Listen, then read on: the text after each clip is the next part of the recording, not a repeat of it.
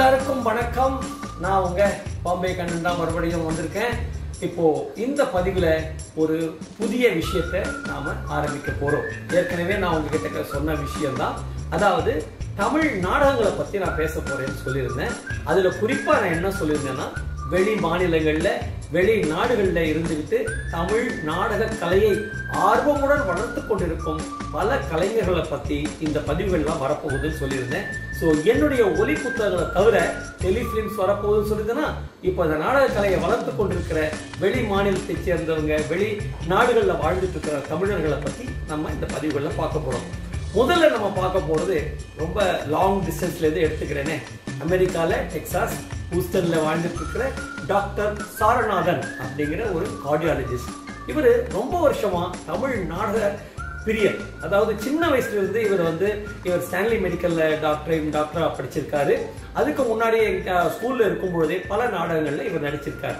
அவரை பத்தின விஷயங்களை அவரே தான் சொல்லணும். நான் சொல்றதை விட அது இன்னும் இன்ட்ரெஸ்டிங்கா இருக்கும்னு நினைக்கிறேன். முக்கியமான ஒரு விஷயம் வந்து நான் என்ன சொல்ல நினைக்கிறேன்னா நான் அவரை எப்படி சந்திச்சேன்னு சொல்லணுங்கிறது தான் எனக்கு முக்கியம்.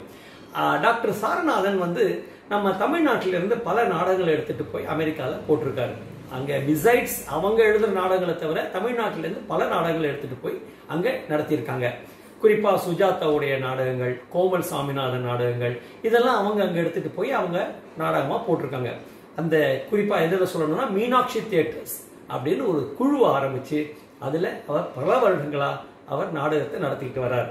ஸோ அவர் என்ன பண்ணார்? ஒரு முறை என்னை பற்றி கேள்விப்பட்டு அதாவது என்னுடைய ட்ரூப்பை பற்றி கேள்விப்பட்டு நான் அப்போ ஒரு குறிப்பாக ஒரு நல்ல ஒரு காமெடி நாடகம் பண்ணிட்டு இருந்தேன் அந்த நேரத்தில்.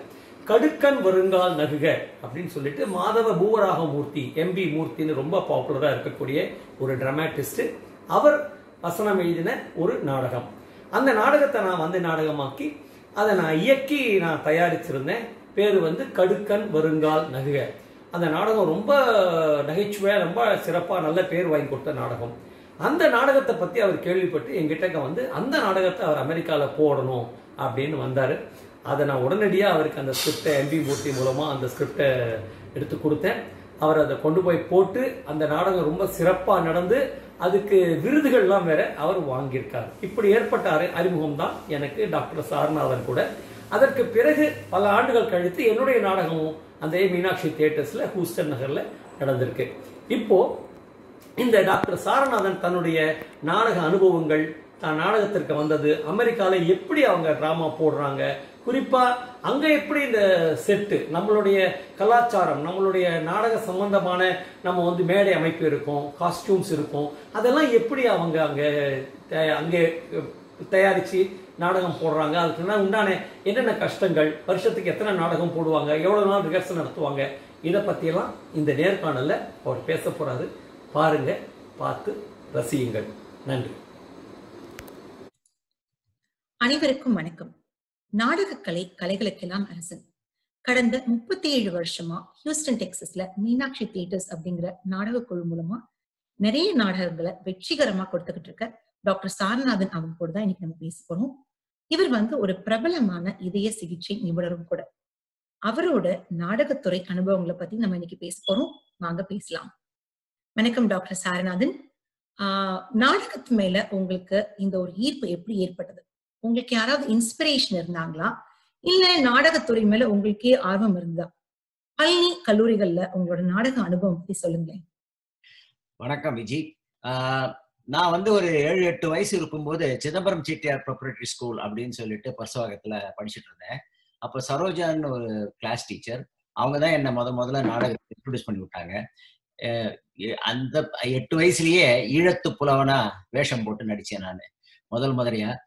அதை பார்த்துட்டு ரொம்ப நல்லா நடிக்கிற உனக்கு நல்ல ஃபியூச்சர் இருக்கு அப்படின்னு சொல்லிட்டு அவங்க என்னை உற்சாகப்படுத்தினாங்க. அங்க ஒரு மூணு வருஷம் நடிச்சேன் நான். அதுக்கப்புறம் நான் வந்து நாங்க டி நகருக்கு வந்தோம். டி நகர் வந்தோம். ராமகிருஷ்ணா ஹை ஸ்கூல்ல டி நகர்ல ஜாயின் பண்ணோம். அங்க நாராயணசாமி இருந்து எங்க தமிழ் டீச்சர் அவர் நாடகங்கள்லாம் போடுவார்.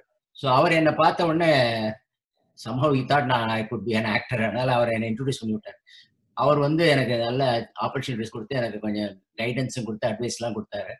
சரி நான் அவர் கூட நடித்தேன். அஞ்சு வருஷம் நடித்தேன். எனக்கு வந்து படிப்பு தான் முக்கியம்னு எங்கள் வீட்டில் வந்து நாடகத்துக்கெல்லாம் போகக்கூடாதுலாம் தான் சொன்னாங்க. என்ன ஆனால் ஃபர்ஸ்ட் ப்ரைஸ் வாங்கும்போது முதல்ல வந்து கை தட்டுறவங்க அவங்க தான் அந்த மாதிரி என்னை ஊக்குவிச்சாங்க. அவர் நாராயணசாமி என் மேல ரொம்ப நம்பிக்கை வச்சிருந்தார். அப்போ நான் அடிக்கடி நாடகங்கள் பார்ப்போம் வாணிமகள் எங்க வீட்டு பக்கத்துல அங்க வாணிமகல்ல நிறைய நாடகங்கள் நடக்கும். பாலச்சந்திரனுடைய நாடகங்கள் நீர்க்குமிழி நவக்கிரகம் நாகேஷ்லாம் வந்து நடிப்பாங்க. அதை தவிர நான் வந்து சோ சாருடைய டிராமா நிறைய பார்த்திருக்கேன். அதை தவிர வைஜி பார்சார்த்தி மகேந்திரனுடைய அப்பா நாடகம் பார்த்திருக்கோம்.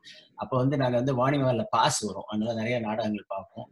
வி. குமார்னு சொல்லிட்டு மியூசிக் டைரக்டர் எங்க வீட்டு பக்கத்து வீட்டுல மாடியில இருந்தார். அவர் வந்து இந்த நாங்களாம் பசங்களா இருக்கும்போது "சரி, வாங்கடா பசங்களா அப்படின்னு சொல்லி கூப்பிட்டு போவார் இந்த ஆர்கெஸ்ட்ரா பிட்டுல உட்காந்து நாடகம் பார்ப்போம் நாங்க. அவ்வளவு இன்ட்ரெஸ்டிங்கா உட்காந்து அவ்வளவு அப்போ எனக்கு நாடகத்துல ரொம்ப இன்ட்ரெஸ்ட் நிறைய நடிக்கணும்னு சொல்லிட்டு அந்த காலத்துல சினிமா கூட போன ஒரு ஆசை இருந்தது. ஆனா வீட்டுல அலோவ் பண்ண மாட்டேன்ட்டாங்க. அதுக்கப்புறம் காலேஜுக்கு போனோம். மெடிக்கல் காலேஜ் போனோம் டைமே கிடைக்கல. டைம் கிடைக்கலன்னா சரின்னு சொல்லி நாடகத்தை ஒரு இன்ட்ரெஸ்ட் விட்டுட்டோம். உனக்கு அதுக்கப்புறம் நான் அமெரிக்காவுக்கு வந்ததுக்கு அப்புறம் முதல் அஞ்சு ஆறு வருஷம் ட்ரைனிங்ல இருந்த போது என்னால ஒன்றும் பண்ண முடியல. ஆசை இருந்தது ஆனா எனக்கு ஒன்றும் எக்ஸ்போஷர் இல்லை. யாரும் அறிமுகமும் ஆகல. அப்புறம் 80 இந்தியால இருந்து அமெரிக்கா புலம்பெயர்ந்து வந்துட்டீங்க. சப்போஸ் நீங்க இந்தியாலயே இருந்திருந்தீங்கன்னா கூட நாடகங்கள் எல்லாம் போட்டிருக்கலாம் இல்லைங்களா? அமெரிக்கா வந்ததுக்கு அப்புறம் நீங்க சொன்னீங்க ஆறு வருஷம் ட்ரைனிங்ல பிஸியா இருந்திருப்பீங்க. எப்ப வந்து உங்களோட நாடக கனவுக்கு உயிர் வந்தது? ஆக்சுவலா நீங்க சொல்ற மாதிரி நான் இந்தியாலே இருந்திருந்தா நாடகம் பண்ணிருப்பேன்னா எனக்கு தெரியாது. ஆனா நான் அமெரிக்கா வந்த உடனே எயிட்டி டூல நான் வந்து ட்ரைனிங்கை முடிச்சுட்டு ஹியூஸ்டனுக்கு வந்தேன். அப்போ அனந்தான்னு ஒருத்தரை மீட் பண்ணேன். அவர் வந்து தமிழ் ஸ்டேஜ் கிரியேஷன்ஸ் அப்படின்னு சொல்லிட்டு ஒரு நாடக குழு நடத்திட்டு இருந்தார் அவர் என்கிட்ட பார்த்த உடனே சொன்னார் உன்னை பார்த்தா அவர் அவர் தன்னை பத்தி சொல்லும்போது நான் ரெண்டு நாடகம் போட்டிருக்கேன் இந்த லாஸ்ட் டூ த்ரீ இயர்ஸ்ல யாருக்கு அதிர்ஷ்டம்னு ஒண்ணு அவள் ஒரு நவரச நாடகம் அப்படின்னு ரெண்டு நாடகம் போட்டிருந்தேன். ஸோ உனக்கு இந்த நடிப்புல இன்ட்ரெஸ்ட் இருக்கான்னு கேட்டார். நான் சொன்னேன் ஐ லவ் டு ஆக்ட் அப்படின்னு வீட்டுக்கு வான்னு கூப்பிட்டாரு. அப்போ வந்து எஸ்வி சகசரநாமம் அவர்கள் போட்ட பெருமாளை சாட்சி அப்படின்னு சொல்லக்கூடிய ஒரு நாடகம் சேவா ஸ்டேஜ்ல போட்டது ரொம்ப பாப்புலர் ட்ராமா அதை வந்து ஒரு ஸ்கிரிப்டை கொடுத்து என்னை படிக்க சொன்னார். அனந்தாச்சாரின்னு மேஜர் ரோல் அவர் சகசரநாமம் பண்ண ரோல் என்ன பண்ண சொன்னாரு.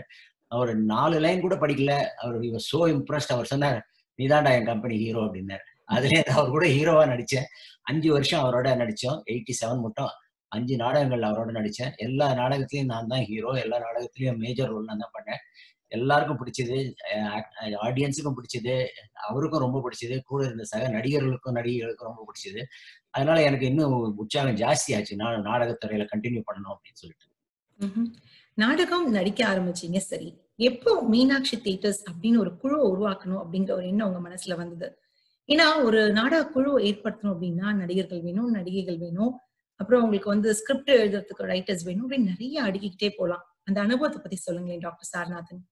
எயிட்டி செவன்ல எனக்கு உள்ளுக்குள்ள நானே டைரக்ட் பண்ணணும்னு ஒரு ஆசை வந்தது. நடிக்கிறது மாத்திரம் இல்ல அவன் டைரக்ஷனும் நம்ம எடுத்து பண்ணணும் அப்படின்னு சொல்லிட்டு ஆசை வந்தது. இப்போ அப்பதான் எனக்கு தோணித்து நம்மளே ஒரு தனி குழு ஆரம்பிச்சா என்ன அப்படின்னு சொல்லிட்டு அந்த தமிழ் ஸ்டேஜ் கிரியேஷன்ல கூட நடிச்ச ஒரு நாலஞ்சு ஃப்ரெண்ட்ஸ் கூட எல்லாம் பேசினேன். அவங்களும் அதை அது ஆதரிச்சாங்க. ஸோ அப்போ எல்லாரும் சொன்னாங்க நம்ம தனியா ஒரு குழு ஆரம்பிக்கலாம் அப்படின்னு நினைச்சோம். சரின்னு சொல்லிட்டு ஒரு டெமோக்ராட்டிக்கா மீனாட்சி ஹியூஸ்டன் மீனாட்சி பேர்ல ஆரம்பிக்கலாம்னு சொல்லிட்டு மீனாட்சி தியேட்டர்ஸ்னு ஒரு குழு ஆரம்பிச்சோம். நாலு அஞ்சு நாங்கள் ஃப்ரெண்ட்ஸ் சேர்ந்து ஆரம்பிச்சோம். ஆஹ் ஆரம்பிச்ச உடனே முதல் முதல் நாடகமே நாங்க போட்டது இருட்டுல தேடாதீங்க அப்படின்னு கோமல் சுவாமிநாதன் அவர்கள் எழுதின ரொம்ப பாப்புலர் ட்ராமா கிட்டத்தட்ட அது வந்து இது மேட் மேட் மேட் வேர்ல்டு அதை ஃபாலோ பண்ணி எழுதியிருந்தார். அது ரொம்ப நல்ல காமெடியா நல்ல அதை எடுத்து போட்டோம். ரொம்ப சக்சஸ்ஃபுல் அதுல இருந்து never look back every year ஒரு ட்ராமா மினிமம் போடணும் ரெண்டு ட்ராமா போடணுன்ற உற்சாகத்துல எல்லாரும் சொல்லி எல்லாரும் என்னை ஊக்குவிச்சாங்க எல்லாரும் எனக்கு சப்போர்ட் பண்ணாங்க. என் பேஷனுக்கு ரொம்ப சப்போர்ட்டிவா இருந்தாங்க. எனக்கும் அந்த நடிப்பு ரொம்ப ஆசை இன்னும் ஜாஸ்தி ஆச்சு. இந்த பெரிய பெரிய ரோல்லாம் எடுத்து நல்லா பண்ணணும் வெரைட்டி கொடுக்கணும் அப்படின்னு ஆரம்பிச்சு அப்ப ஆரம்பிச்சது ஸ்டில் கண்டினியூ நீங்க இருக்கிற பிஸி ஸ்கெடியூல்ல நீங்க வந்து ஒரு ஒரு ஸ்பெஷலைஸ்டு வேற கார்டியாலஜில இல்லைங்களா? உங்களோட ஸ்கெடியூல்ஸ் எல்லாம் பயங்கர பிஸியா இருக்கும். ஒர்க் லைஃப் பேலன்ஸ் பண்றதே கஷ்டம். அப்படி இருக்கும்போது உங்களோட நாடகங்களுக்கெல்லாம் ரிஹர்சல் எப்படி பாத்தீங்க ஒரு நாடகம் போடணும் அப்படின்னா எத்தனை நாள் உங்களுக்கு ஆகும்? ஒரு எத்தனை மாசம் உங்களுக்கு ஆகும் டாக்டர் சாரநாதன்? ஆக்சுவலா நீங்க சொல்றது கரெக்ட் நான் காலையில எட்டு மணிக்கு வேலைக்கு போனா ராத்திரி எட்டு ஒன்பது மணிக்கு வருவேன். சில சமயம் நைட்டுல எமர்ஜென்சில ஓட வேண்டியிருக்கும். ஆனா நான் என்ன பண்ணேன்? என்னுடைய பேஷன் நாடகமானதுனால என்னுடைய பர்சனல் லைஃப் ஓரளவு சாக்ரிஃபைஸ் பண்ணிட்டு weekend weekend six to eight hours spend பண்ணுவோம். எவ்ரி சண்டே சிக்ஸ் ஹவர்ஸ் ரிஹர்சல்னு வச்சுப்போம். எவ்ரி சிக்ஸ் சண்டே ஒரு சிக்ஸ் ஹவர்ஸ் நாங்கள் எல்லாரும் சேர்ந்து ரிஹர்ஸ் பண்ணுவோம். கிட்டத்தட்ட ஹண்ட்ரட் ஹவர்ஸ் ஒவ்வொரு ட்ராமாவுக்கும் நான் ஸ்பெண்ட் பண்ணுவேன். ஆவரேஜா three to four months rehearsal பண்ணுவோம். மேஜர் ட்ராமா பெரிய ட்ராமா ஒரு ஹிஸ்டாரிக்கல் இந்த மாதிரிலாம் இருந்ததுன்னா வி கேன் ஈவன் ஒரு சிக்ஸ் ஹவர் சிக்ஸ் மந்த்ஸ் கூட நாங்கள் பண்ணுவோம். சில சமயம் வீக் டேஸ்லயும் இண்டிவிஜுவலா சில பேரை கூப்பிட்டு நான் ட்ரெயின் பண்ணுவேன். நானே நடிச்சு காட்டுவேன் நானே முகபாவங்கள் எல்லாம் உணர்ச்சிகள் எல்லாம் காட்டுவேன் நானே எல்லாரும் சொல்லி கொடுப்பேன் எல்லாரும் டேப் பண்ணி கொடுப்பேன். நான் என்ன டாஸ்க் மாஸ்டர்னு சொல்லுவாங்க எல்லாரும். ஏன்னா எனக்கு வந்து அந்த பாலச்சந்தர் ஞாபகம் வரும். பாலச்சந்தர் பாம்பே சாணக்கிய இவங்க எல்லாம் அப்படிதான். நாங்களே நடிச்சு காமிச்சு சொல்லி கொடுத்து ஆர்டிஸ்ட் எல்லாம் உருவாக்கினாங்க. அதே மாதிரி அந்த ஆசையில நானும் என்னுடைய ட்ரூப்பியா நான் அப்படிதான் உருவாக்கினேன். வருஷத்துக்கு ஒரு நாடகமோ ரெண்டு நாடகமோ போடுறீங்க இல்லைங்களா? எப்படி வந்து நடிகர் நடிகைகள்லாம் இன்ட்ரெஸ்டா வராங்க? அது வந்து ஆக்சுவலா என்னுடைய பேஷன் மாதிரியே இன்னொரு சில ஃபியூ பீப்புள் இருக்காங்க இந்த கம்யூனிட்டியில அவங்களுக்கும் ஒரு பேஷன் இருக்கிறதுனால எனக்கு கூடவே சப்போர்ட் பண்றாங்க. அது தவிர எனக்கு ஆரம்பிச்ச புதுசுல எனக்கு வந்து ரவின்னு ஒருத்தர் இருந்தார் இங்க ப்ரொஃபஸர் அவர் வந்து ஆஸ்டின் மூவ் பண்ணி போயிட்டார்.